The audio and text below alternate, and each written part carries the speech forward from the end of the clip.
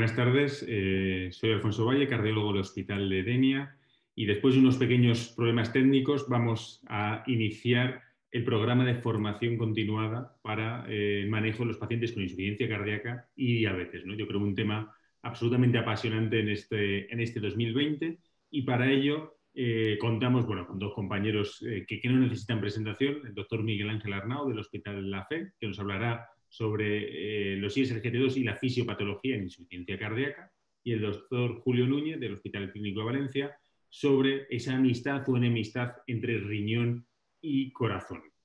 Todas las preguntas que tengáis vía chat en la página web nos las podéis ir enviando y nada, por no dilatarlo más, Miguel Ángel, cuando quieras, eh, arrancamos. Hola, buenas tardes, gracias Alfonso. Pues empezamos, eh, la parte que yo voy a hablar va a ser un poco sobre el impacto sobre la insuficiencia cardíaca que tiene este grupo farmacológico y un poco hablar de la fisiopatología que, la sustenta. Eh, bueno, empezamos, os parece, con las guías, guías de diabetes, en donde, eh, bueno, como veis, tanto en las guías europeas como en las guías de la ADA, en pacientes diabéticos de alto riesgo cardiovascular o con enfermedad establecida, pues posicionan claramente los ISGLT2 y los GLP1 como primera, eh, como primera arma terapéutica. Y concretamente la ADA, además, pues eh, en aquellos enfermos con insuficiencia cardíaca o enfermedad renal, posicionan eh, a los ISGLT2 como fármacos realmente de primera línea. Y esto lo hacen, y esto es importante que no se nos olvide, porque lo que luego veremos, con independencia de cuáles sean los niveles basales de hemoglobina de hemoglobina glicosilada.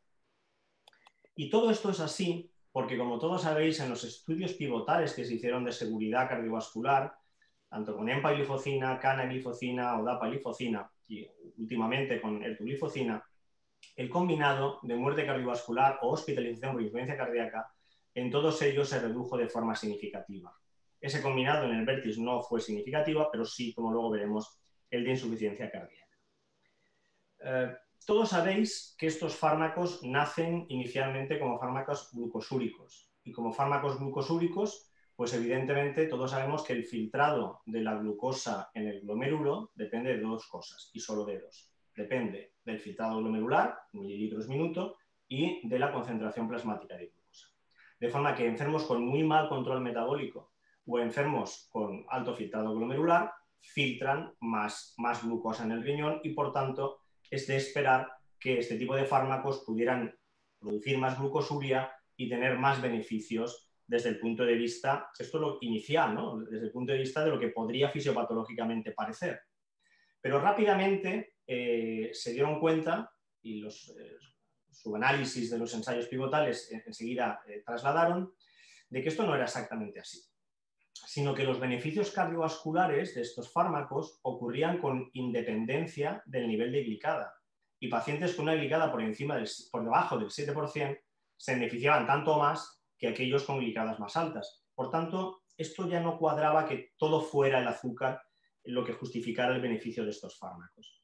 Y de la misma forma, exactamente igual, aquellos fármacos, eh, en este caso canaglifocina, pero esto es reproducible para la EMPA o para la, o para la dapaglifocina, aquellos pacientes con un filtrado glomerular más bajo, pues se beneficiaban tanto más como aquellos con filtrados más altos.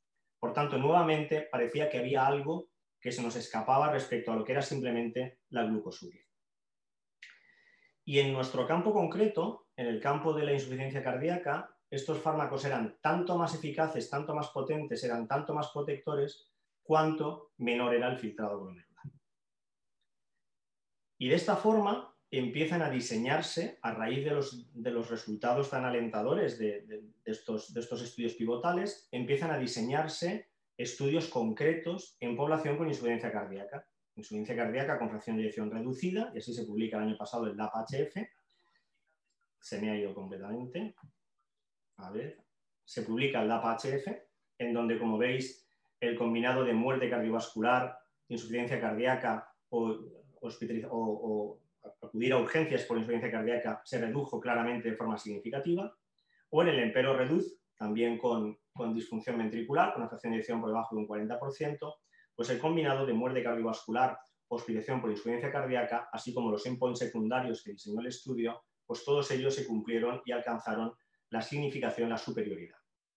Por tanto, este tipo de fármacos demostraron estos beneficios y lo demostraron tanto en pacientes diabéticos como en los no diabéticos. Por tanto, nuevamente, algo un poco que nos venía a decir que probablemente no solo era el control del azúcar lo que podía ser beneficioso en este grupo farmacológico. Empezamos a hablar, si os acordáis, las primeras diapositivas de las guías de diabetes y progresivamente, y al final acabaremos con las guías de insuficiencia cardíaca. Aquí os hago una especie de resumen un poco de todo lo publicado hasta el momento con los ISGLT2 arriba los cuatro ensayos pivotales eh, de seguridad cardiovascular en pacientes diabéticos, el Credence, que también era un pivotal en pacientes diabéticos con fallo con insuficiencia renal, el DAPA-CKD, que sabéis que se acaba de publicar, que ya no solo es en pacientes diabéticos, sino que coge diabéticos y no diabéticos, y los dos últimos, el DAPA-HF y el Empero Reduce, que es, como sabéis, en insuficiencia cardíaca con fracción de eyección reducida. Lo que es homogéneo, lo que es una constante en todos ellos, los cuadritos verdes, en donde todos los fármacos, todos constataron una reducción significativa de los reingresos por insuficiencia cardíaca. Por tanto, ahí sí que hay un efecto de clase que es, yo creo que, innegable. ¿Y cuáles son un poco los mecanismos fisiopatológicos que se han esbozado para intentar justificar eh, estas respuestas? Hay muchísimas diapositivas en la literatura, muchas de ellas más bonitas que esta, pero esta es una del profesor Juan Tamargo, que yo creo que resume bastante bien un poco toda la fisiopatología en donde podemos encontrar los beneficios de este tipo de fármacos. Si os parece, vamos a ir comentando punto por punto algunas de ellas y resaltando lo que quizá a mí me parece más importante. Empezamos por el efecto de estos fármacos sobre el riñón. No voy a insistir mucho en ello porque supongo que luego Julio nos hablará mucho más profundamente, pero eh, tenemos clara evidencia de que estos fármacos disminuyen la presión intraglomerular y a través de la reducción de la albuminuria y de la restauración del feedback tubulo glomerular son claramente renoprotectores. ¿Y esto por qué es así? Nosotros sabemos que en el paciente diabético, paciente también con insuficiencia cardíaca, hay una hiperfiltración glomerular inicial. Y esa hiperfiltración inicial va a ser perjudicial a largo plazo eh, para, el riñón. Bueno, pues lo que hace realmente el ISGLT2, como luego veremos, es una vasodilatación, luego veremos por qué, una vasoconstricción de la arteriola aferente, de la que llega. va a constriñir la arteriola aferente de forma que va a disminuir la presión de filtración glomerular. Y este mecanismo se puede combinar con lo que hacen los inhibidores del sistema renina-angiotensina-aldosterona, que lo que hacen es dilatar la arteriola eferente, y probablemente con la combinación de las dos podamos obtener beneficios renoprotectores eh, pues combinados. El segundo punto importante es el mecanismo que tienen de diuresis osmótica y de natriuresis. Este es un mecanismo realmente eh, muy interesante y mecanismo a través del cual probablemente reducen un poquito la presión arterial sistólica, 3, 4, 5 milímetros de mercurio, la presión diastólica, 2 milímetros de mercurio, de forma que disminuyen la la poscarga, disminuyen la congestión y con todo ello pues aumentan la eficiencia cardíaca y ese mecanismo de cardioprotección. Lo que es muy interesante es si realmente la diuresis es una diuresis osmótica como tal, porque cuando se mide la orina, pues la osmolaridad en la orina tampoco creáis que cambia mucho. Y si esa natriuresis a largo plazo se mantiene o no se mantiene. Es poco probable que los beneficios cardiovasculares se deban simplemente algún dato concreto de ellos. La reducción de la tensión arterial puede ser aditiva, pero desde luego no es lo que, lo que, lo que justifica toda, todo el beneficio cardíaco. Em, una cosa que me parece interesante, eh, yo no sé si luego también Julio o Alfonso lo comentarán, pero me parece interesante porque los cardiólogos lo vamos a ver cada vez más. Lo vamos a ver más porque vamos a ir combinando seguro de aquí en adelante en pacientes con insuficiencia cardíaca, eh, eh, diuréticos de ASA con eh, inhibidores ISGLT2. Realmente el ISGLT2, esa hiperfiltración que se produce de la arteriola aferente, lo que hace el ISGLT2 es, al inhibir la reabsorción de glucosa y de sodio, hace que en la parte distal de la nefrona, a nivel de la mácula densa, llegue más eh, sodio, más cloro, y eso a través, la, la mácula densa es como un sensor de, la cantidad en el túbulo distal de, de cloro, y a través de esa mácula densa y de ese sensado le dice al glomérulo, no hace falta que filtres tanto. Y entonces es cuando a través de mediadores tipo adenosina provoca la vasoconstricción de la arteriola aferente. Pero fijaros, cuando nosotros ponemos un diurético de asa, la furosemida, nosotros inhibimos el transportador sodio-potasio 2-cloro. Eh, y ese transportador está en la rama ascendente del asa de Henle, pero también está en la mácula densa. De forma que cuando combinamos un ISGLT2 y un diurético de asa, a nivel teórico, ese beneficio del ISGLT2 no sabemos hasta qué punto podría verse o no anulado, porque al inhibir este transportador le estás engañando a la mácula densa y aunque haya aquí sodio y cloro, la mácula densa no lo ve. De forma y manera que cuando combinamos los dos fármacos no sabríamos muy bien cómo funcionaría esto. Es verdad que todos los análisis de, los análisis de subgrupos, del, del del, del Canvas, cuando se vio si el beneficio era igual en los que tomaban diuréticos y los que no tomaban diuréticos, el beneficio fue el mismo prácticamente en los dos grupos. Pero tener en cuenta que la población eh, incluida en esos ensayos tenía un 10 un 15% de insuficiencia cardíaca basal. Luego, es muy probable que los diuréticos que se utilizaran fueran antiacídicos y no diuréticos de asa. ¿Tenemos datos de qué pasa cuando combinamos diuréticos de asa y diuréticos ISGLT2? Pues eh, hace muy poco, en agosto de este año, se publica un, un estudio, que es el estudio RECEDE, que específicamente valora esto. Es decir, en pacientes que están tomando de forma regular furosemida, pues hacen un tratamiento crossover de seis semanas con empaglifocina y analizan qué pasa con el volumen de orina, analizan qué pasa con el sodio urinario y, en definitiva, con la respuesta cuando se combinan estos dos fármacos. Y fijaros por qué es interesante. A la sexta semana, cuando combinamos furosemida y empaglifocina, se observa un aumento diurético mantenido de alrededor de medio litro pero el efecto natriurético prácticamente desaparece. La natriuresis que se consigue a la sexta semana al añadir la empalifocina prácticamente es nula, o la reducción es mínima, mínima, mínima. Esto no se reproduce en otros estudios de diuréticos de ASA con este, pero en este que fue un estudio diseñado específicamente para esto, los resultados fueron estos. Por tanto, eh, pensar que el efecto natriurético de estos fármacos sea el dominante, pues cuanto menos cuanto menos es dudoso. Pero sí que es cierto, y creo que Alfonso luego también nos comentará algo en este sentido, sí que es cierto que cada vez más se da mm, más importancia al sodio corporal total más que eh, a la natriuresis en concreto. Estudios con eh, resonancia magnética que han medido el sodio corporal total, en donde se ha constatado que a mayor sodio total, pues mayor hipertrofia ventricular y mayor descompensación de insuficiencia cardíaca, pues parece que eh, este tipo de fármacos disminuyan la cantidad de sodio en piel en la evolución. Y ese sodio que es no osmótico, ese sodio que se une a proteoglicanos y a cosas de estas raras, pues probablemente la reducción del sodio a nivel total pueda ser beneficiosa en el conjunto del paciente. Todos sabemos, y esto es una diapositiva súper repetida, que esa diuresis osmótica y esa natriuresis se logra a, expensas de reducir más el volumen intersticial que el volumen intravascular. Y esta es una diapositiva, yo creo que ponemos absolutamente en todas las, en todas las charlas. Y esto es así, yo no digo que no, pero tener en cuenta una cosa, esto es un hallazgo o es un estudio de simulación matemática. Esto no es que esté absolutamente constatado y demostrado.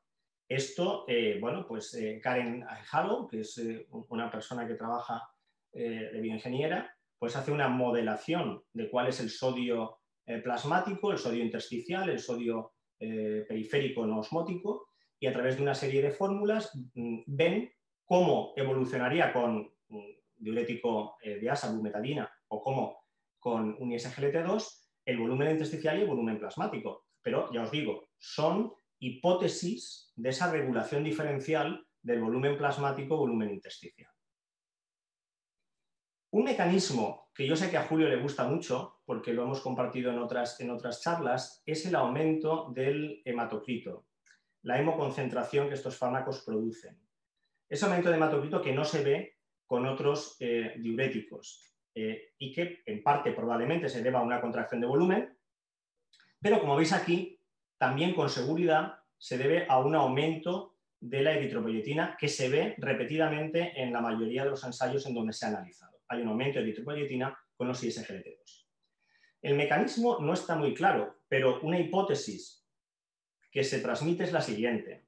En el individuo sano, eh, la absorción, como sabéis, de glucosa y de sodio es eh, equimolecular, pero en la parte vasolateral el sodio es reabsorbido a través de una, bomba de sodio-potasio ATPase, por tanto hay consumo de ATP.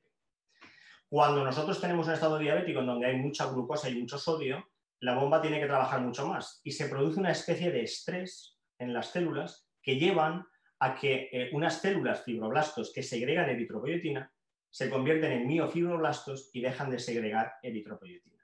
Esa situación es reversible y cuando nosotros inhibimos la absorción de glucosa y vuelve un poco el estado redox de la célula a ser más normal, no hay tanto consumo energético, pues esas células vuelven a poder segregar, secretar eritropoyetina. Es una de las hipótesis que se, que se plantean en este sentido. Otro aspecto de estos fármacos son los aspectos metabólicos. Todos sabemos que los ISGLT2 aumentan el glucagón, evidentemente algo tendrá que ver la glucosuria, la disminución de la glucotoxicidad y de la resistencia a la insulina. A diferencia de otros diuréticos, estos fármacos producen uricosuria, por tanto disminuyen eh, el ácido úrico y eso parece, eh, parece ser beneficioso. Y lo he subrayado aquí porque parece importante también al producir estos fármacos una glucosuria de 50 60 gramos día, van a provocar una pérdida calórica pues, de 250 260 kilocalorías día. Y eso, aparte de perder peso, eh, disminuye grasa visceral y grasa epicárdica.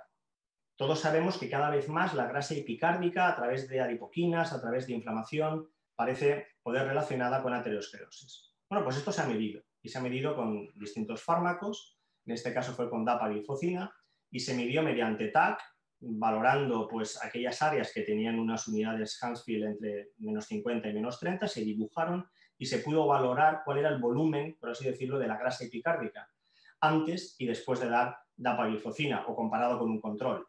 Y se vio que efectivamente dapaglifocina en una evolución reducía el volumen de la grasa epicárdica. Y esto evidentemente puede tener importantes connotaciones para nosotros a largo Está la, teoría que todos conocemos también del, cambio metabólico, ¿no? El cambio metabólico en donde, bueno, pues fundamentalmente esta es la, hipótesis de Ferranini, en donde lo que transmitía es un aumento de los cuerpos cetónicos.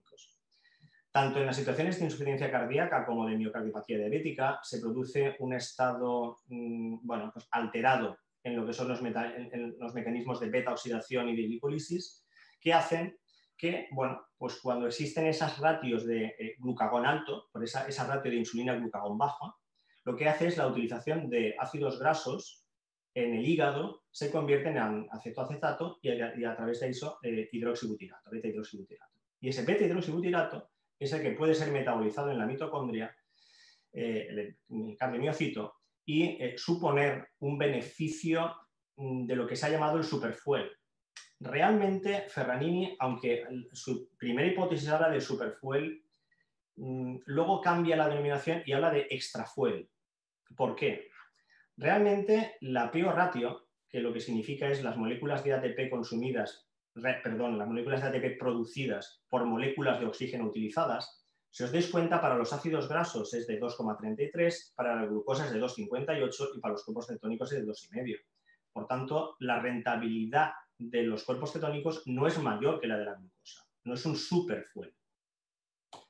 Lo que ocurre es que cuando nosotros tenemos un corazón diabético, ese corazón diabético deja de provocar oxidación por cuerpos cetónicos, deja de utilizar eh, la glucosa y fundamentalmente hace eh, beta oxidación de ácidos grasos.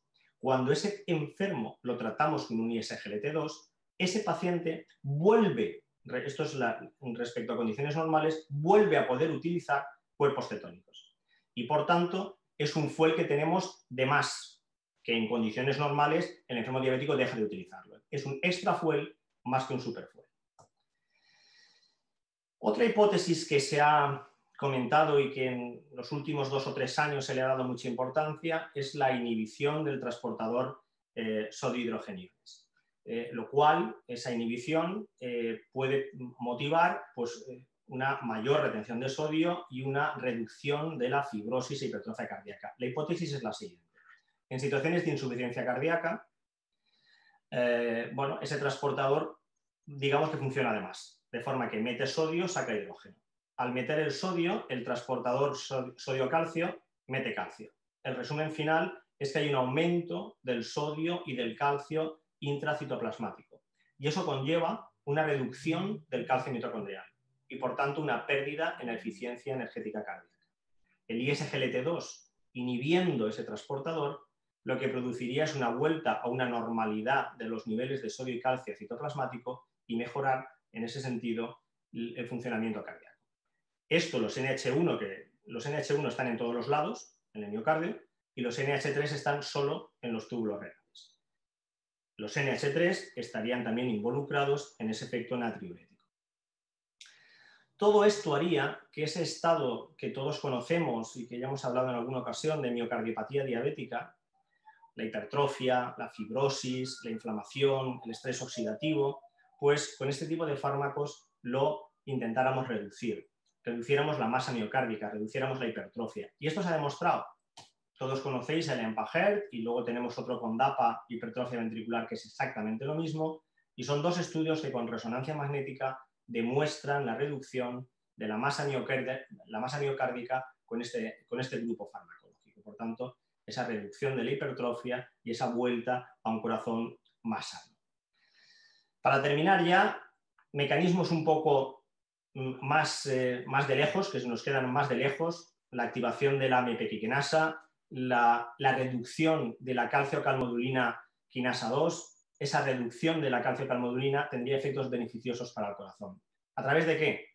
A través de, eh, esto provocaría eh, que hubiera menos leak de calcio del retículo sarcoplásmico al citoplasma, eso mejoraría la contractilidad y disminuiría las arritmias ventriculares. En definitiva, este es un artículo bastante reciente, publicado hace tres o cuatro meses, que viene un poco de nuevo pues, a insistir en todos los mecanismos, algunos directos, como los que hemos comentado del transportador sodio hidrógeno, de la canca, eh, eh, sobre la inflamación, sobre el estrés oxidativo, y otros pues, indirectos o más bien sistémicos, como puede ser el aumento de eritroproyetina, la disminución del sistema nervioso simpático, la mejora energética, etc. Todo esto, ¿qué ha hecho? Y esta es la penúltima diapositiva. ¿Todo esto qué ha hecho? Pues que probablemente en las próximas días nosotros hablemos de cuatro grupos farmacológicos en los pacientes con insuficiencia cardíaca. Y junto a los IECAS aradoses, o mejor los ARNIS, junto a los beta bloqueantes y los inhibidores mineralcorticoides, pongamos en el paciente que debe llevar sí o sí, salvo que no haya una contraindicación, un fármaco de este tipo. Esto es una publicación de mayo de este año en donde los autores comparaban qué pasaba cuando a los pacientes, por ejemplo, con 55 años, se le daban los cuatro fármacos respecto a cuando solo se le daba, por ejemplo, un beta, un beta bloqueante, un IECA o un ARA2. Bueno, pues esto es un análisis computacional, esto no es real, es un análisis matemático, pero lo que veían es que cuando se implementaban esos cuatro fármacos respecto a lo que llamaban terapia convencional, pues el paciente de 55 años iba a tener una sobrevida de 6 años y pico. Y esto, cuando empezabas a darlo con 65 años, pues una sobrevida de 4 años y pico.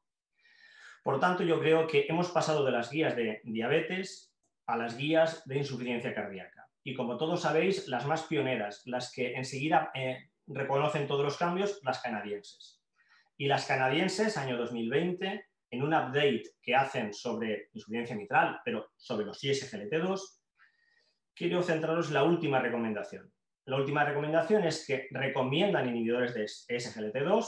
Cuando se publicó esto eh, estaba el DAPA-HF, no estaba todavía el Emperor, que podrían ser utilizados o deberían ser utilizados en pacientes con eh, insuficiencia cardíaca y fracción de eyección reducida, aunque no tuvieran diabetes, aunque no tuvieran diabetes, para mejorar síntomas, la calidad de vida y reducir hospitalizaciones por insuficiencia cardíaca y mortalidad cardiovascular.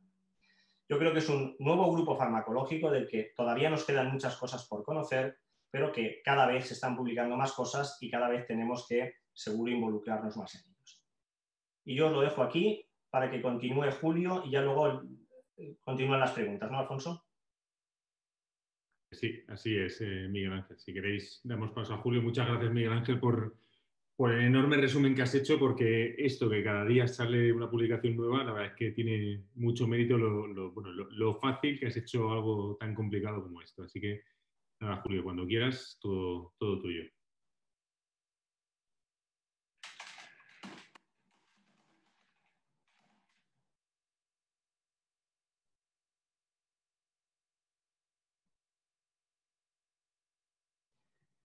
Alfonso, tiene el, micro mutado, Julio. Sí. Eh, eh, muchas gracias, Alfonso. Eh, excelente presentación, Miguel Ángel. Ah, en el día de hoy lo que, de lo que tengo yo que hablaros es del síndrome cardiorrenal, riñón y corazón, con un título muy sugestivo que es Amigos o enemigos. Pues es, de entrada parece una respuesta fácil, eh, inicialmente diría que, es que el, paciente renal realmente es un enemigo, ¿no? porque tenemos poca evidencia, pero vamos a intentar profundizar más en los próximos minutos.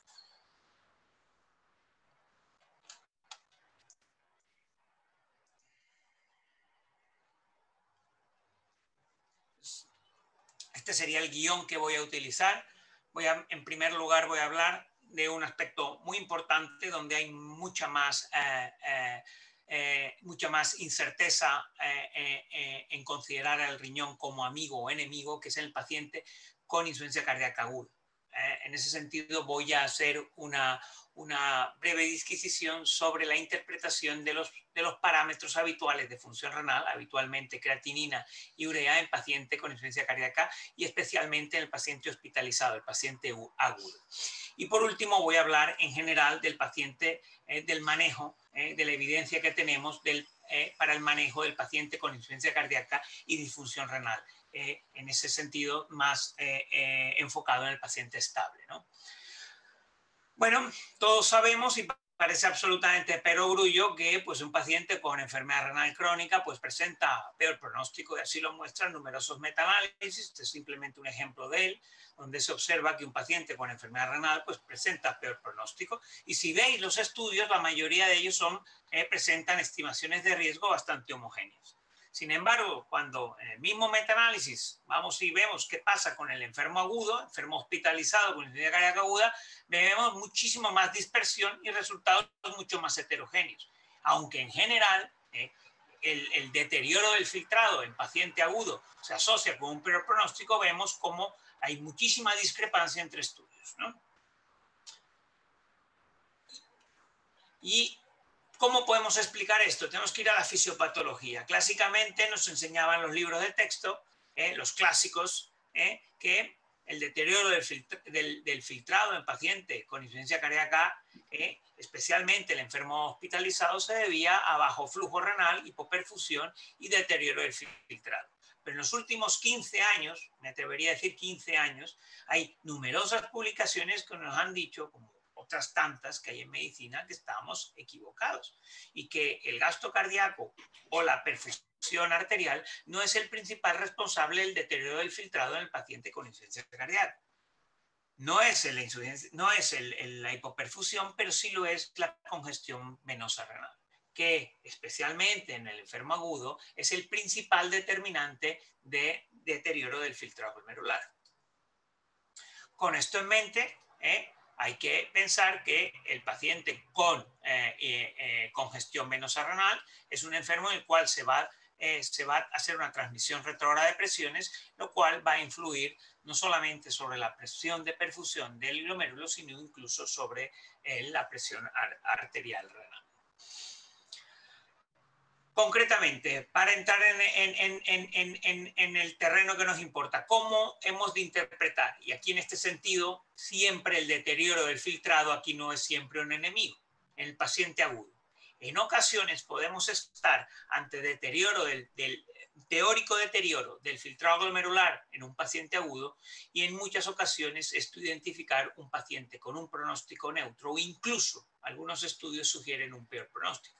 ¿Y esto por qué ocurre así? Porque en muchas ocasiones un aumento de creatinina en estos pacientes no explica, no es más que un surrogado de hemoconcentración. Y hemoconcentración en un paciente que está tratado, eh, un paciente congestivo, eh, tratado con diuréticos, eh, altas dosis de diuréticos, es un signo de buena respuesta al tratamiento y obviamente mejor, mejor pronóstico. Pero por el contrario, también nos podemos encontrar, Alfonso, con pacientes que deteriora el filtrado y obviamente esto identifica a un paciente con un pronóstico sombrío. ¿Y cómo podemos distinguir este, esta dualidad, este, este, este doble, doble cariz del deterioro del filtrado glomerular a un paciente con insuficiencia cardíaca, especialmente el agudo? Pues bueno, tenemos que ir a buscar datos clínicos que nos orienten. ¿no? no podemos tener la seguridad, pero hay ciertos datos clínicos, bioquímicos, eh, eh, que nos pueden orientar y sugerir en qué situación nos encontramos. Por ejemplo, este es un artículo ya muy clásico donde se ve claramente que el valor pronóstico, el deterioro del filtrado en paciente con insuficiencia cardíaca depende si se soluciona o no la congestión. El enfermo tratado con diuréticos de asa que persiste la congestión y se deteriora el filtrado un paciente peor pronóstico. Sin embargo, si hay deterioro del filtrado y desaparece la congestión, ese paciente presenta un un pronóstico similar al paciente eh, que eh, no deteriora el filtrado, o sea, buen pronóstico. ¿Qué otros datos nos pueden ayudar? Datos que manejamos, biomarcadores que manejamos en la práctica clínica. Este es un subanálisis de dos, de dos grandes ensayos clínicos de ultrafiltración y diuréticos, como el CARRES y el DOSE, eh, y vemos cómo claramente la doble cara que tiene el deterioro del filtrado glomerular en pacientes agudos, con insuficiencia cardíaca aguda cuando aumenta el NT-proBNP y se produce un deterioro del filtrado glomerular, un deterioro del filtrado, un aumento de creatinina, esto realmente esto significa o implica mal pronóstico. Pero por el contrario, si ese deterioro del filtrado glomerular eh, concurre con una mejoría o un descenso llamativo de los valores de péptidos natriuréticos, esto identifica no solamente un pronóstico neutro, sino incluso un paciente con mejor pronóstico. Otro gran estudio observacional que viene a decir lo mismo, publicado muy recientemente en Jack Heart Failure, en el mismo sentido, buscando otro surrogado de decongestión. En este sentido, ya hemos visto lo, lo que ocurría con péptidos natriuréticos, pero incluso más llamativo, con el típico marcador de hemoconcentración que todos conocemos como el hematocrito. Cuando se produce el deterioro del filtrado y no cambia el hematocrito, mal pronóstico, no hay hemoconcentración, este paciente, eh, este, esto es una situación que probablemente identifica un verdadero deterioro de, la función renal. Si por el contrario hay un deterioro del filtrado y hay una importante hemoconcentración, esto está identificando una situación de buena respuesta terapéutica y probablemente lo que estamos viendo es el paciente vuelve de estar hemodiluido vuelve a, vuelve a tener datos de su función renal basal. Así pues, de, a manera de resumen, lo que, lo que hay que evaluar en un paciente agudo tratado con altas dosis de diuréticos, eh, hay que evaluar los cambios de función renal conjunto con parámetros de evolución clínica, parámetros de evolución de la congestión, biomarcadores eh, como antes habíamos visto en los péptidos natriuréticos, la hemoglobina, el hematocrito, además de eh, eh, evaluar obviamente la respuesta diurética del paciente y si nos podemos apoyar obviamente en técnicas de imagen sería lo mejor. En este sentido, y para ya terminar esto, quedaros con la frase de cuando hay deterioro del filtrado glomerular en un paciente con insuficiencia cardíaca descompensada, primero mira la clínica, primero, primero mira el corazón y luego mira el riñón. A modo de resumen, ante un paciente eh, con tratamiento depletivo intensivo y empeoramiento de, la función renal, hay que ir a buscar eh, si, el paciente, si en el paciente concurre mejoría clínica. Estos cambios de la función renal son de escasa magnitud especialmente si nos manejamos entre, eh, eh, con dentro de valores de la normalidad de filtrado glomerular o de creatinina. Estos cambios son transitorios y el paciente muestra una, una eficiencia diurética apropiada, probablemente nos estamos encontrando ante un subrogado de hemoconcentración y por ende buena respuesta terapéutica. No hay que echarse las manos de la cabeza ni retirar fármacos ni echar. Probablemente estamos viendo, estamos eh, ante un escenario propicio, un escenario positivo. Si por el contrario hay cambios, cambios de la función renal de importante magnitud en un enfermo que clínicamente, clínica y diuréticamente no responde adecuadamente, estos cambios son persistentes, probablemente nos encontramos ante un verdadero deterioro de la función renal. Dejamos este, este primer apartado, que era interpretación de los cambios de la función renal en un paciente agudo. Y no solamente, ojo, anteriormente hay que referirnos al paciente agudo, pero también esto puede extrapolarse al paciente que vemos en unidades de emergencia cardíaca. Es un enfermo muy congestivo manejado ambulatoriamente sea, paciente tratado con altas dosis de diuréticos, 2, 3, 4 diuréticos. Este paciente es un paciente eminentemente húmedo, tratado en un contexto ambulatorio. De todos estos cambios del filtrado deben evaluarse como si fuese un paciente agudo. Vamos a situarnos en un paciente estable y mejor, para que no haya confusión, vamos a hablar en segundo apartado del tratamiento del paciente seco con insuficiencia cardíaca estable. Desgraciadamente, la enfermedad renal es como la enfermedad, las enfermedades, las, enfermedades eh, que nadie quiere. Desgraciadamente, las grandes multinacionales, los grandes ensayos clínicos, siempre el enfermo renal lo han excluido y según eh, numerosos registros, incluso datos propios de la comunidad valenciana, eh, aproximadamente un 15-20% de los pacientes con insuficiencia cardíaca que manejamos todos nosotros presentan un filtrado glomerular estimado menor de 30. Es una cifra nada desdeñable que actualmente la evidencia no nos puede aportar ninguna luz al respecto, porque estos enfermos clásicamente están eh, eh, infrarrepresentados y las guías de práctica clínica pues, nos dicen que no iniciemos o incluso nos dicen que están contraindicados todos aquellos fármacos que eh, han, mostrado consistentemente cambiar la historia de la enfermedad, fármacos modificadores de la enfermedad.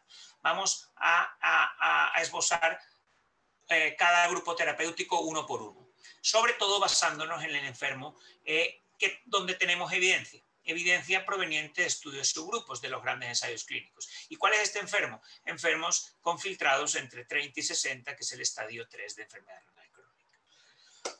¿Qué hay con respecto a los IECAS? Bueno, los IECAS, los datos de los subestudios, y aquí simplemente pongo un ejemplo, y muestran que los resultados son consistentes. El valor, de la, el valor de la P de la interacción no es significativa y por ende podemos decir que la gran mayoría de estudios con, con IECAS versus placebo en pacientes con disfunción sistólica mostraron un beneficio similar en pacientes con filtrado menor de 60 que mayor de 60. Con respecto a los ARA2, algo muy parecido, tanto el Hill, Char Alternative, Valhef y Charm Added sistemáticamente mostraron que el valor de la P de la interacción entre fracción de eh, eh, filtrado glomerular mayor o menor de 60 no fue significativo en ninguno de los estudios. Lo que desde el punto de vista de la ortodoxia metodológica no podemos decir que hay un, eh, efecto diferencial si el paciente presenta función renal mayor de 60 o un filtrado menor de 60. ¿Qué hay con respecto a, a sacubitril?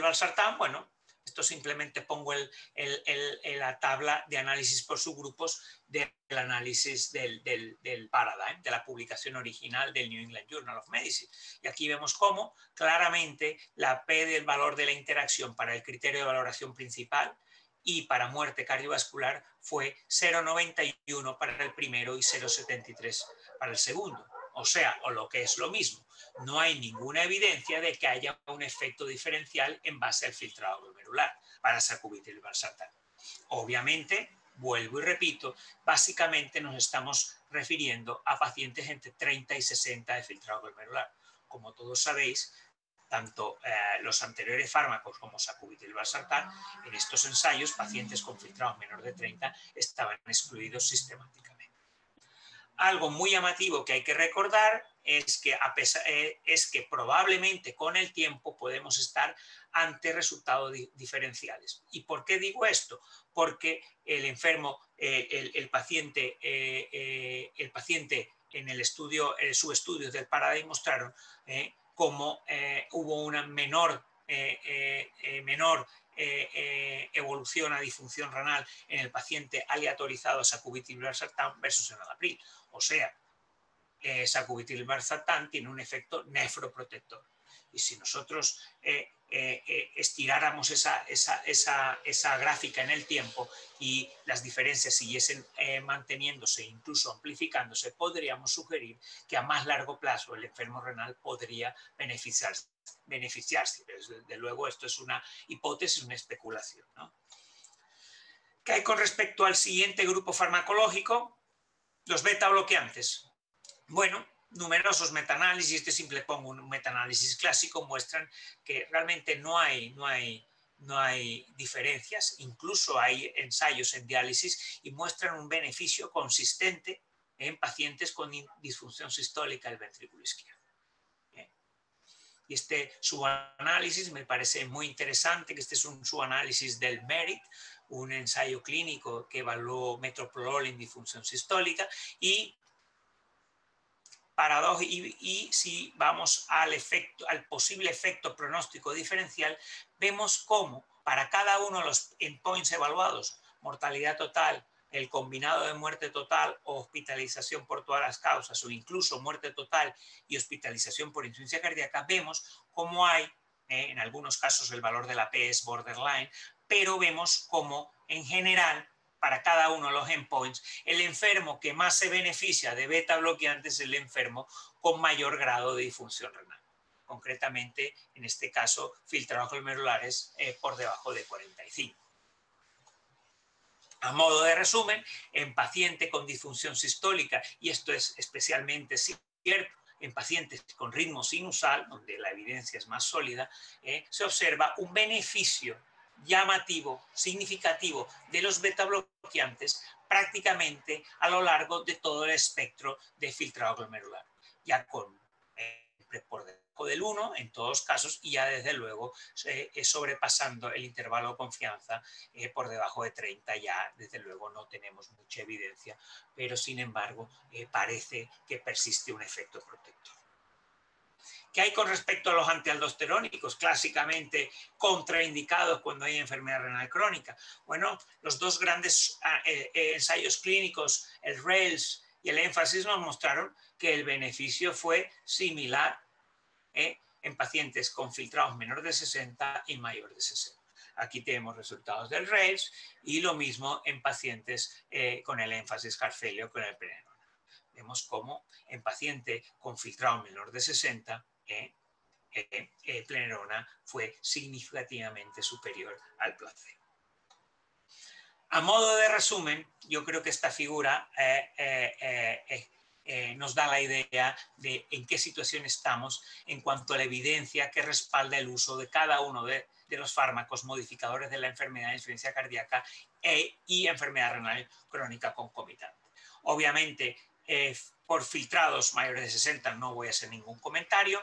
Eh, la mayoría de la evidencia es, es, sólida entre 30 y 60, ¿eh? tanto para IECA, ARA2, ARNI, eh, sacubitril beta bloqueantes y antialdosterónicos. O sea, paciente entre 30 y 60 debería llevar estos grupos farmacológicos. Sin embargo, la evidencia empieza a perder peso ¿eh? en estadios 4 y 5 especialmente el 5 no hay prácticamente nada, y en el estadio 4, entre 30 y 15 filtrado, el, único, el fármaco que más evidencia tiene son los beta bloqueantes. La mayoría de la evidencia es bastante, bastante, eh, eh, eh, es incluso ausente o, muy débil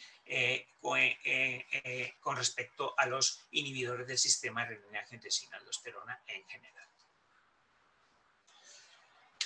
Eh, ya Miguel Ángel nos habló de los ISGLT2 y estos están aquí para quedarse. Ya vemos cómo van a ser parte del pilar farmacológico fundamental, combinado con los anteriores, ¿eh? y que han mostrado los ensayos concretamente en insuficiencia cardíaca y, SGLT2. Aquí tenemos el primero de ellos, que fue el DAPA Heart Failure, y mostró de manera muy similar a lo que hemos, mostrado, lo hemos visto con sacubitril que no hay efecto pronóstico diferencial en base a filtrados menor de 60 o mayor de 60. El beneficio es homogéneo en ambos grupos para dapaglifocina y esto se publicó ayer, creo, apareció ayer en Circulation, en prensa, el efecto, el efecto eh, pronóstico de la palifosina a lo largo de todo el continuum de filtrado glomerular estimado.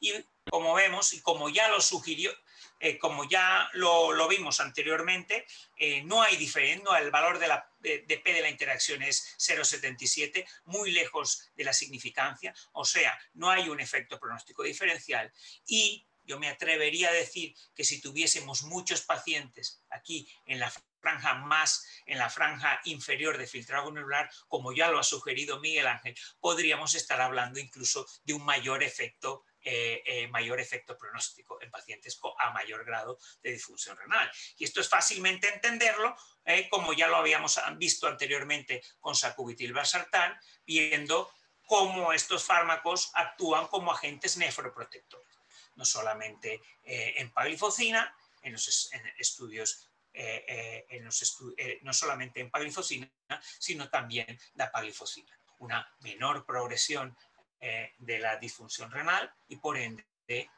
mayor nefroprotección a largo plazo. ¿Qué ocurre a más largo plazo? Probablemente futuros estudios nos pueden desvelar esta incógnita. Pero yo sugiero que a mayor grado de disfunción renal probablemente este grupo farmacológico tiene mayor cabida. Y por último, simplemente deciros que mostraros al, hilo de los anteriores eh, resultados, los resultados, eh, eh, los, los, datos tan llamativos del estudio DAPA, que es CKD, que es otro escenario muy diferente, no son pacientes con insuficiencia cardíaca, son pacientes con disfunción renal, y vemos cómo eh, eh, versus placebo redujo eh, consistente y significativamente todos los, los endpoints renales, incluso a muerte, muerte por cualquier causa en, este, en paciente renal crónico. ¿Por qué no observar estos mismos pacientes cuando el enfermo tiene concomitantemente disfunción renal e insuficiencia cardíaca? Yo me atrevería a pensar que todos los datos orientan hacia eso. ¿no? Yo doy por finalizada la charla. Pasamos a la siguiente, Alfonso. Muy bien, muchas gracias. Si queréis, hay alguna pregunta del chat, mientras la voy poniendo os la, os la hago. Resumo así una para cada uno. Eh, para Miguel Ángel, que, lo ha esbozado así rápidamente entre todos los mecanismos, eh, pregunta por el tema de las arritmias ventriculares y los ISLGT2, un poco que, que, nos puedes comentar y por fibrilación auricular y SMGT2, ¿no? si, hay algún dato eh, bueno, pues de que presente este grupo farmacológico algún tipo de beneficio.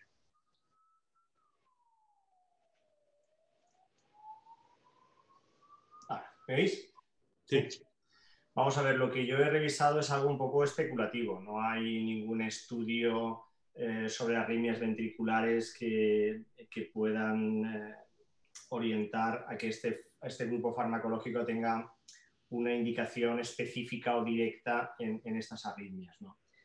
Sí que es verdad que a través del mecanismo un poco que se ha esbozado, es decir, una cosa que está muy en boga es la regulación con la calcio-calmodulina proteinquinasa 2, que sabéis que esto eh, modula el, receptor de la rianodina y el receptor de los leaks de, calcio, las espigas de, calcio, la liberación al retículo, del retículo eh, sarcoplásmico al citoplasma. Y que esto en determinados enfermos pueden estar eh, involucrados en arritmias ventriculares. ¿no? Ocurren las catecolaminérgicas, un poco sería el, el exponente máximo. ¿no? Pero bueno, esto es algo especulativo, no hay nada que en las arritmias ventriculares, digamos, este grupo farmacológico tenga que ser especialmente beneficioso, más allá, creo yo, de todo el efecto un poco cardioprotector de los mismos, ¿no?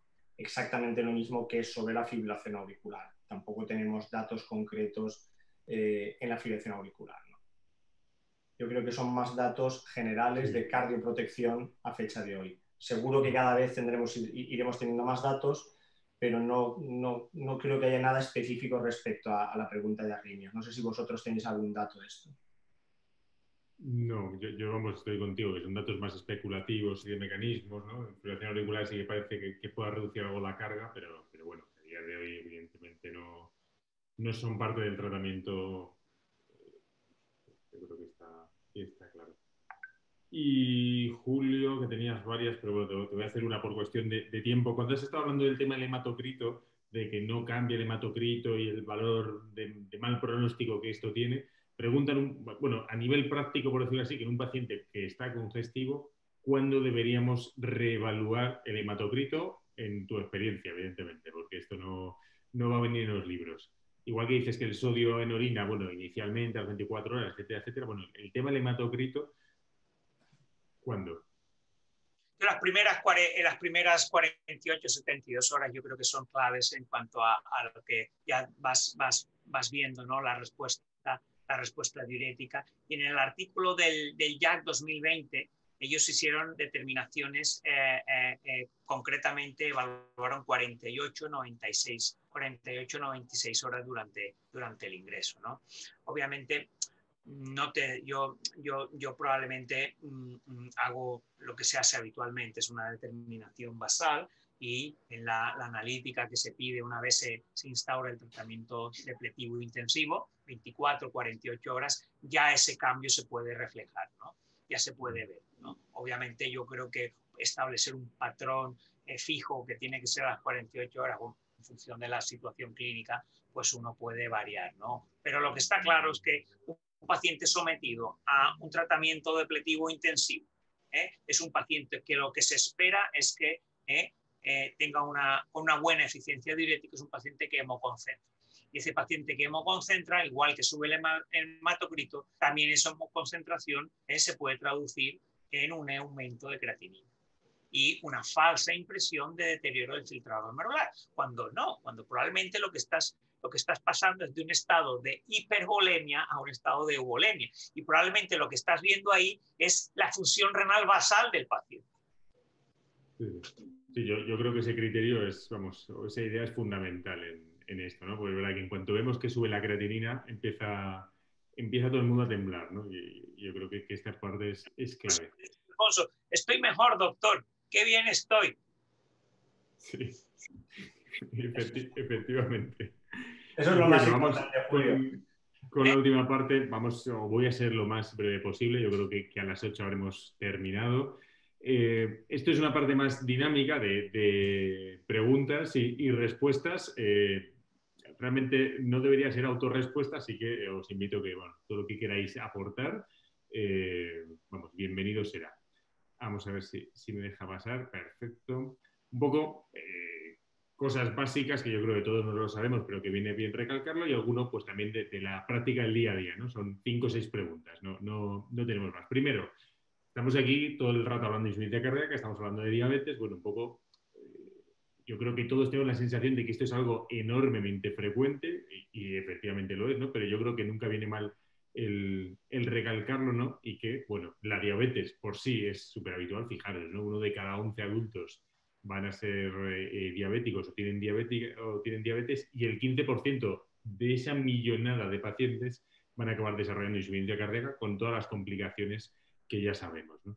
Y fijaros un poco esta gráfica del porcentaje de pacientes diabéticos en los diferentes estudios de insuficiencia cardíaca, como, bueno, pues, pues, estamos en unos porcentajes enormemente altos y estamos eso, en los últimos estudios un 30-35% como en el, como en el Paradigm, Es decir, es algo del día a día y que nos tenemos que habituar.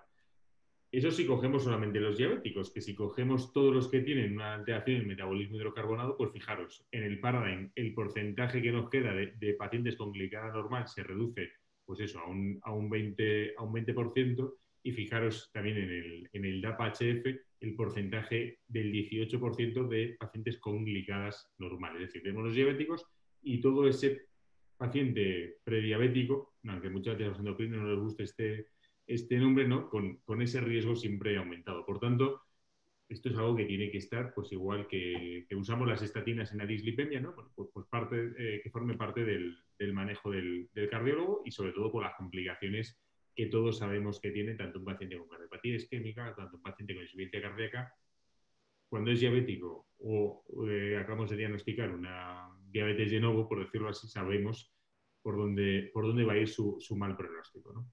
Este lo ha comentado Miguel Ángel y la voy a pasar porque además mi diapo es más breve que, la suya, que me ha encantado con, todos los estudios actualizados, el efecto de clase, ¿no? Y un poco la idea de Miguel Ángel, yo creo que la tenemos todos clara, es decir, donde hay un efecto de clase claro es en la insuficiencia cardíaca y bueno, aquí de es verdad que, era el único que tenía ese coprimario de insuficiencia cardíaca, ¿no? En Parrec y, y Canvas, pues, pues es verdad que, no lo tenían dentro de, ese objetivo primario. Pero de manera uniforme, incluso con Vertis, con los resultados que tiene, eh, bueno, la insuficiencia cardíaca funciona. Con lo cual, yo creo que aquí todos estábamos de, enhorabuena y hasta el 2019, bueno, teníamos un paciente con IC y era diabético, por decirlo así, tenía una oportunidad más que, el paciente no diabético, que gracias a Dios ha venido DAPA, HF y Emperor a cambiar un poco la, situación. Pregunta que como estamos entre cardiólogos yo creo que no hay mucho debate ni mucha guerra, pero si lo hiciéramos entre cardiólogo y endocrino seguramente pues eh, alguien me bloquearía el audio del, Zoom, ¿no? El tema de la meformina para arriba, la meformina para abajo. Creo que es verdad que es una guerra, no sé qué opináis, más, bueno, más de, charlas que, o de fuego artificial que, que otra cosa. Es decir, no creo que a nadie nos moleste que el paciente vaya con meformina, pero bueno, sí que se puede dar caso de pacientes que por lo que sea no lo toleren o, que tengan unas glicadas casi normales y, ponerle un ISLGT2. La pregunta es, ¿el beneficio de los ISLGT2 depende de que lleve metformina sí o no? Bueno, pues este es un metaanálisis también muy recientemente publicado. Fijaros el porcentaje de pacientes que van con metformina en los diferentes estudios, desde un Emparre que tenemos un 74, un Decler que tenemos un 82, a un DAPHF que tenía solamente ya un 21%. Y el resultado es que tanto lo que es la mortalidad eh, cardiovascular como lo que es la hospitalización por insuficiencia cardíaca me da exactamente igual que lleve metformina o que no la lleve. ¿no? Por tanto, quizás estas guías europeas que tanta polémica generaron en ese primer parte del cuadro que decíamos, bueno, empieza directamente con un ISLGT2, bueno, pues quizás con, con estos datos del metaanálisis tampoco esté tan, esté tan, tan, mal, ¿no? Por, decirlo así. Es decir, que, el beneficio no va a depender de que lleve metformina o que no la lleve el beneficio a nivel vascular o cardiovascular de, estos fármacos, ¿no? Su estudio, esto también Miguel Ángel y Julio han comentado bastante. Julio ha comentado que publicado ayer a nivel renal. Yo creo que este 2020, bueno, final del 19 de 2020 ha sido el año de los subestudios del DAPA-HF, por donde queráis, por edad, si es diabético o no diabético, por la fracción de eyección, por el filtro renal que ha comentado Julio, por el tratamiento de base, si va con sacubitrilos, eh, con diurético, no diurético. Podríamos hacer una charla solo de esto, pero el resumen es, el mensaje uniforme de esto es que la pagliflozina es efectivo en absolutamente todas las poblaciones de, pacientes que, analizamos, ¿no? que yo creo que esto también pues, pues, nos da mucha tranquilidad, ¿no? por decirlo así, que en todo paciente con eyección reducida vamos a tener un beneficio. Este es el que ha comentado Julio, que no voy a entrar, fijaros el tema de la, función renal tan importante, tanto sea diabético como no diabético, pues persiste el, beneficio en un perfil de paciente pues, que vemos diaria, diariamente. Y un poco coger perspectiva, que sería, bueno, ¿dónde estamos con esto de los ensayos, los ISLGT2, ¿no? porque esto ha sido como un tsunami, ¿no? Y bueno, ¿a, dónde vamos o qué es lo que nos queda? La verdad es que esta diápola, reconozco que la he cogido de un buena webinar del Europeo de Insuficiencia Cardíaca, y la verdad es que es bastante abrumador ¿no? ver todos los, los estudios positivos en insuficiencia cardíaca en los últimos 20, 30 años, ¿no? y es, espectacular, ¿no? Fijaros estos últimos años el acúmulo de, ensayos clínicos que, que, tenemos, ¿no? Y bueno, yo creo que, que es para, pues para estar todos alegres y contentos por nosotros y también los, los pacientes. En insuficiencia cardíaca, o mejor dicho, los ISLGT2, bueno, tenemos este cuadrante de claro beneficio en cuanto al MEIS, en cuanto a insuficiencia cardíaca, en PARREG, Emperor, Canvas, Credence, DAPA-HF, DAPA-CKD, ¿no? Un efecto más neutral, bueno, pues tanto de, los de PP4 y de los antagonistas de GLP-1, ¿no? Yo creo que esto lo tenemos todos claro. Y, bueno, todo lo que nos falta por, venir, ¿no? Mecantic, que se presentará en, en noviembre en la en la AJA y, sobre todo los estudios eh, tanto de dapaglifocina como de empaglifocina en, en preservada, ¿no? el determine y el deliver en, en, DAPA y el emperor preservado que, que a será para el año que viene con empaglifocina, ¿no? que, esto vamos, estando además aquí Julio, no voy yo a hablar de ello, pero bueno, que quizás sea una de las grandes esperanzas. Y bueno, tenemos la primera piedra de toque este, también en Laja el próximo mes con el, con el Solovis, con la sotaglifocina, que sabéis que es un inhibidor dual, 4.000 pacientes, fracción de edición por debajo del 50%, o sea, estamos metiendo pacientes con fracción de edición intermedia, con esos puntos de corte de NT pro BNP, y bueno, que sean, eso sí, todos pacientes diabéticos con insuficiencia cardíaca. Aquí no, no hay pacientes sin diabetes, ¿no? Pero bueno, veremos ese, ese rango del 40-50, qué es lo que pasa con, con estos fármacos. Un punto yo creo que también interesante, y esta ya es una de las últimas eh, preguntas, es, bueno, nos preocupa mucho el tema de insuficiencia cardíaca con fracción de preservada y esto va muy, muy paralelo muchas veces a, la presencia de hipertrofia ventricular. Y tenemos datos de tanto de GAPA como de EMPA, donde hay una mejoría clara en el grado de la hipertrofia ventricular de, los pacientes. Y seguramente bueno, pues pueda ser uno de los grandes mecanismos ¿no? que, pueda ayudar en este paciente con este síndrome clínico de, preservada. ¿no? Y además que son datos pues bastante uniformes tanto de, una molécula como de la, de la otra. Y si Julio hablaba de riñón y de, y de corazón, si son amigos o enemigos, ¿no? pues bueno, dentro de lo que es la insuficiencia cardíaca, tenemos ese amigo o enemigo de los ISGT2 o, o sacubitril Creo que ha quedado claro que, son amigos, que se tienen que llevar bien y que además se, van a ayudar. Y principalmente lo, he resumido en cuatro eh, razones. Primero, porque los dos actúan muy rápidamente. Fijaros, Paradigm, a los 30 días las curvas están separadas. DAPA-HF, dapaglifocina, a los 30 días empieza a haber beneficios en cuanto a las hospitalizaciones, en cuanto al evento primario. Es decir, el beneficio que le aportamos al paciente es un beneficio enormemente precoz. Además, es un efecto añadido. Este el metaanálisis que todos conocemos que se presentó de Emperor y de DAPA, donde bueno, el beneficio de estas moléculas era independiente de que llevasen sacubitril o o no. Incluso cuando se analizaba DAPA-HF o Emperor, fijaros cómo en DAPA hay un beneficio añadido de, llevar las, dos moléculas en mortalidad cardiovascular, en, en todas las causas de muerte, en hospitalización por insuficiencia cardíaca, y en Emperor, que se presentó el otro día en el, en el, en el ¿no? está la, nota de prensa un poco de cómo hay una mayor reducción del riesgo relativo de, de esa muerte cardiovascular a la hospitalización con la combinación de fármacos, un 36% frente a un 23% cuando ponemos en palifocina con un IECA. Por tanto, a nivel de beneficio pronóstico, yo creo que, está claro que podemos aportarle más al paciente con la, con la combinación. Por otra parte, pues a mí este, esto me parece muy interesante. Es verdad que es una comunicación del, del europeo, pero bueno, como dapaglifocina reduce el riesgo de hiperpotasemia en el DAPA-HF en pacientes con fracción de eyección reducida. ¿no? sabemos que si esto siempre es un, es un problema, a día de hoy menor con sacubitrilo que cuando llevábamos los SIECAS, pero bueno, al final va con sacubitrilo, que va con el mineral corticoide y muchas veces hay pacientes límites. ¿no? Bueno, toda ayuda en este campo pues, pues siempre va a ser bien, bienvenida. ¿no? En esa, digamos, buena tolerancia, pues están los datos del, del subestudio del DAPA-HF, ¿no? Eh, discontinuación o interrupción del fármaco no hay más cuando van con secutivo valsartán que cuando no van con él. Y fijaros cómo la presión sistólica cuando van con DAPA y con secutivo valsartán pues es de 2 milímetros o 2,8 milímetros. Es decir, la reducción más o menos sabemos cuánto va a ser y no hay cambios a nivel de las cifras de creatinina ni a nivel tampoco de las cifras de potasio. Por tanto, bueno, son fármacos que quizás no, nos cueste irnos eh, adaptando a añadir un cuarto pilar, pero que en principio tienen que llevarse bien y un poco por lo que ha comentado Miguel Ángel ¿no? de, este artículo, que de acuerdo que tendrá todas sus limitaciones matemáticas que, tiene, que estamos, eh, digamos, dando por hecho que el beneficio es constante a lo largo del tiempo, pero que los datos y los porcentajes de reducción de, eventos, como podéis ver, de muerte cardiovascular, de, de, de hospitalización por insuficiencia cardíaca o de la mortalidad total, combinando eh, la cuádruple terapia es eh, bueno, absolutamente abrumadora comparado con el tratamiento habitual de, un IECA más, más un beta bloqueante con la mejoría de, años que ha comentado Miguel Ángel, ¿no? con esa media de, de, seis años que puede ser desde ocho si es un paciente muy joven a dos años si es un paciente por encima de, los 80. Yo creo que esto vamos, es motivo más que de sobra para, para intentar hacer un poco el, el esfuerzo. ¿no?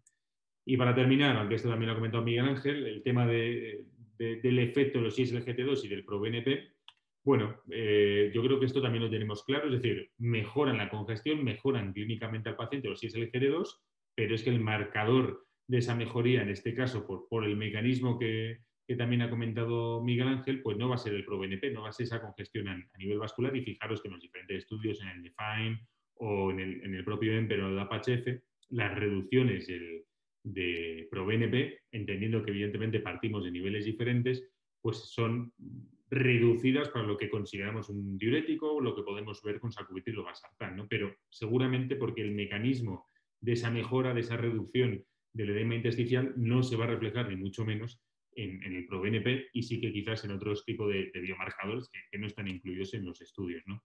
Y muy especialmente, y no me voy a repetir, por, eh, a mí este estudio me parece muy, muy interesante ¿no? de cómo reduce el sodio a nivel eh, intersticial medido por resonancia cardíaca, por resonancia magnética, ¿no? y que seguramente es uno de los puntos clave de, esa reducción del edema intersticial y evidentemente esto a nivel de un ProBNP pues, pues, pues no va a tener ningún tipo de, de reflejo. ¿no?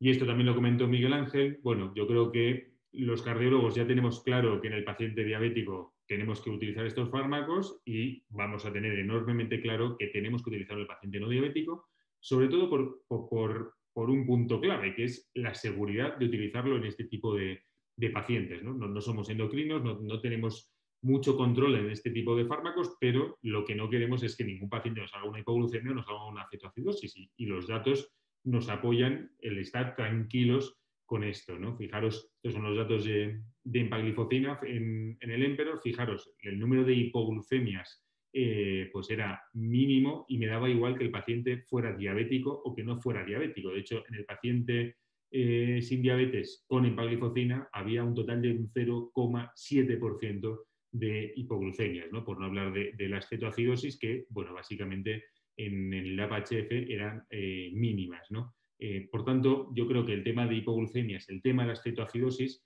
eh, tenemos que estar tranquilos e independientemente de que el paciente sea diabético o, como en este caso, tanto en Emperor como en DAPA, en su grupo de pacientes sin diabetes. ¿no? Por supuesto, también en APHF el resto de, puntos de, amputaciones, de fracturas, de, de, de, volumen, bueno, pues fijaros que, había una, seguridad clara y lo mismo también ocurría con empaglifocina, ¿no? con diabetes o sin diabetes. ¿no? Por tanto, yo creo que, en este sentido eh, pues lo tenemos, lo tenemos claro. Y el efecto, no me voy a meter mucho porque estas gráficas ya las ha puesto también en Julio, ¿no? de cómo además no es que sea seguro en el paciente no diabético, sino que también además es efectivo, ¿no? que esto es el, punto clave. Estos son los, las gráficas de, EMPA que se publicaron en el, en el IASI, el, efecto beneficioso tanto en lo que es la, hospitalización por insuficiencia cardíaca. Es verdad que hay un gradiente, el diabético parece que tiene más beneficio que el paciente prediabético que el, que el grupo sin, sin, sin, diabetes y con dapagliflozina ocurre exactamente lo mismo. Es decir, el paciente no diabético se beneficia igual tanto en el endpoint primario de la hospitalización o de la visita a urgencias como en el paciente no diabético. ¿no? Por tanto, en este grupo de pacientes que, bueno, cuando a nivel administrativo esté eh, resuelto el, problema, vamos a empezarlo a utilizar, el mensaje de efectividad y el mensaje de eh, seguridad en cuanto a tema de hipoglucemias, tema de cetoacidosis, etcétera, etcétera. ¿no? Yo creo que es un punto eh, clave para bueno, extender el uso y aportarles el beneficio a, los pacientes con insuficiencia cardíaca. ¿no? Esto era un poco así en plan resumen breve. No sé si queréis hacer algún último comentario.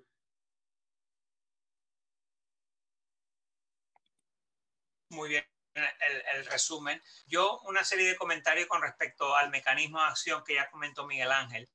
Hay cierta discrepancia sobre algunos, algunos artículos. Miguel Ángel mencionó uno donde, donde no hay aumento de la natriuresis. Alfonso ha mostrado otro donde sí se aumenta, sí aumenta la natriuresis.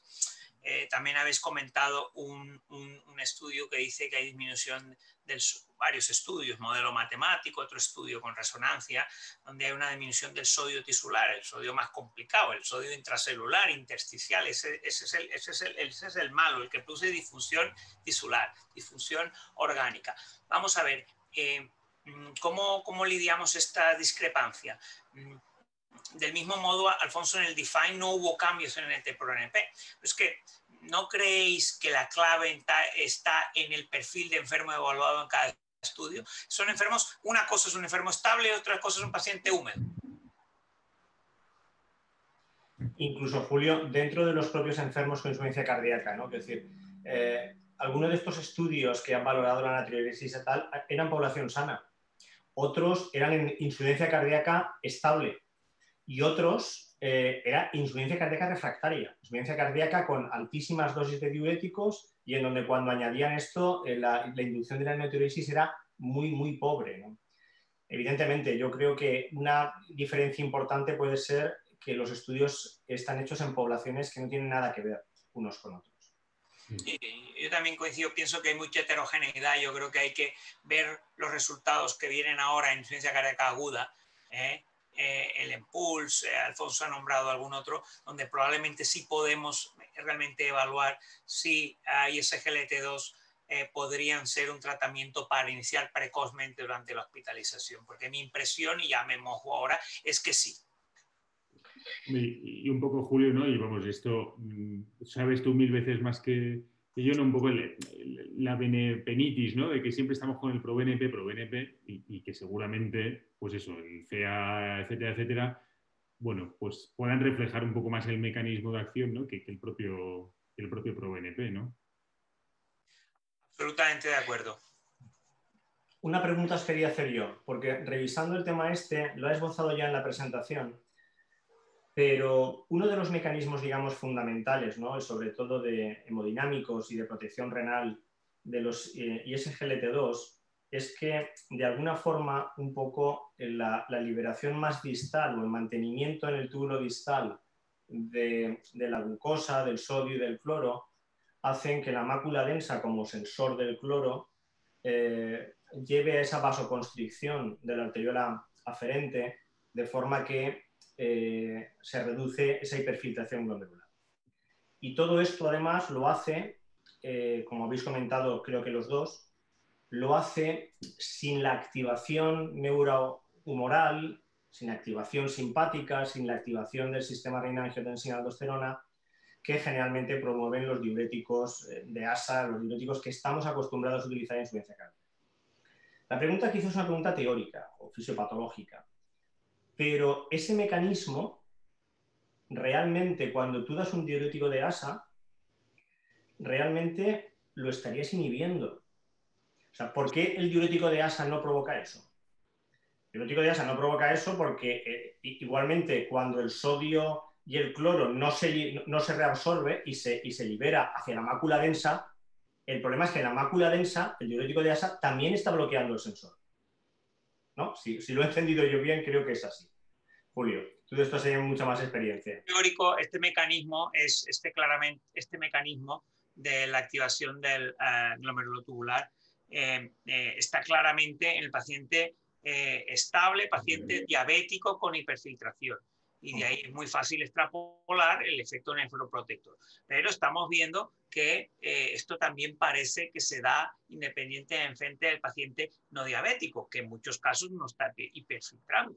Entonces, eh, cuidado, yo probablemente, Miguel Ángel, y aquí soy, pues bueno, me atrevo también a especular, yo no, le yo no vería, primero, no estaría tan convencido de ese mecanismo eh, de vasoconstricción de la arteriola eh, aferente en el global de pacientes, sí en el paciente diabético. Hay un estudio que además, incluso en, no en, otros en pacientes diabéticos también se está sugiriendo un efecto eh, tipo IECA o ARA2, con vasodilatación de la arteriola eferente. Por ende, no está claro. Yo creo que el paciente, el paciente no diabético o el paciente con insuficiencia cardíaca Mm, tenemos que huir un poco de los mecanismos puramente glomerulocéntricos y probablemente ir más al túbulo. ¿Qué está ocurriendo en el túbulo? Porque, porque claro, tú dices, bueno, estos, estos fármacos, y en nuestra opinión nosotros hemos empezado a usarlos es con diuréticos a punta pala. O sea, nosotros hemos aprendido a usar en eh, desde hace tres años con el enfermo con dos y tres diuréticos por delante. ¿no? Y nosotros hemos visto y hemos aprendido que este paciente parecía que iba mejor y ahí le hemos cogido confianza al fármaco y luego han venido los ensayos clínicos. ¿no? Probablemente yo sé lo que sí veo es que la, yo pienso ¿no? que estos fármacos aumentan la oferta de sodio distal y aumentan la eficacia de los diuréticos tradicionales. Y, y, y, y aumentan la eficacia. Y por ende, yo, el mecanismo del, glomérulos lo dejaría en stand-by, eh, lo aplicaría claramente en el enfermo diabético, pero en paciente con insuficiencia cardíaca pura yo creo que son muchos más mecanismos los que están operando. ¿eh? Muy bien. Muy bien. Pues si queréis, son las 8 y 10, ¿no? Un largo día. Yo creo que, que podríamos ir con el debate, pero, pero bueno, a estas horas lo, que procede es, seguir cerrando. Así que nada, yo, bueno, agradeceros, Miguel Ángel y, Julio, las, las presentaciones eh, que han sido espectaculares, a, la sociedad un poco la, organización y a Astra un poco, bueno, pues por el, permitirnos este foro de debate. Eh, gracias a las preguntas que, nos habéis ido mandando por el, por el chat y tanto esta sesión como la de atención primaria las dejaremos una vez editadas colgadas en, en la página de la sociedad para todos los que lo, lo queráis volver a ver. Así que nada, muchas gracias a, a los dos y, gracias. Muchas gracias. Gracias. Hasta luego. Hasta luego.